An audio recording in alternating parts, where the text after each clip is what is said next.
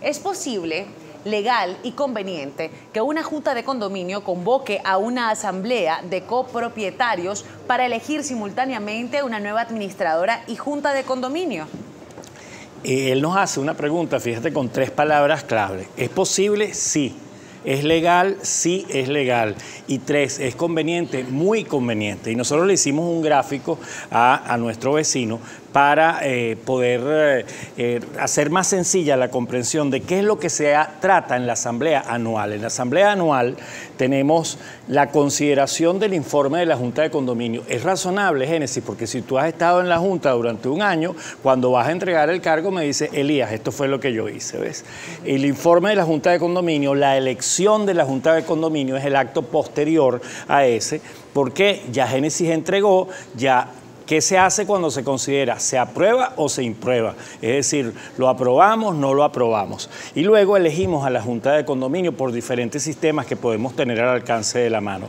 Y el, tercer punto es considerar el informe de la empresa administradora y luego la designación de, de la empresa administradora. ¿La podemos ratificar? Sí, la podemos ratificar, pero todos los años se considera si ella sigue o no sigue en sus funciones. Mm. ¿Cuál es el consejo para organizar? bien una asamblea, porque fíjate que la pregunta de él, Génesis, es muy inteligente porque él dice, no son demasiados puntos para tratar en una sola tarde, noche y la gente se aburrirá. Ya en el punto 10 y ya la gente anda perdida. Claro, pero estos son solo cuatro puntos de la Asamblea Anual y fíjense, hay dos cosas claves que hacer previamente a la Asamblea. Circular la información previamente. Mm. Génesis, si ya yo, por la vía de la cartelera o en el ascensor coloco, en la cartelera está colocado el informe de gestión de la Junta o por correo le estamos enviando a usted la copia del eh, informe de la Junta y del informe de la empresa administradora también. Por WhatsApp también lo puedes enviar como un anexo. También tú tienes, dices, en la conserjería hay un ejemplar impreso. ¿Por qué? Porque a lo mejor tienes un vecino viejito, así como Juan Eleazar Fígalo, que es una persona ya muy mayor. nuestro querido Juanchito. Sí, que ya es muy, muy, muy mayor y él no tiene redes sociales ni nada. Entonces él va y lo lee. Claro que sí tiene. oficial Juancho. Sí, oficial Juancho, sí, señor.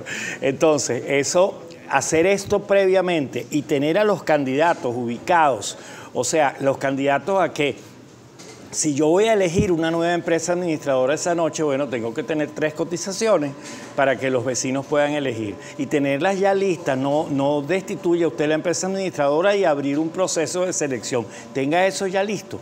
Y luego haber conversado con los vecinos, Génesis. Esto es fundamental, tener los candidatos a principal y a suplente de la Junta de Condominio, porque el ambiente que se crea es muy malo cuando tú dices, ¿quiénes se quieren postular? Y aquel silencio y todo el mundo se ve y ves hacia...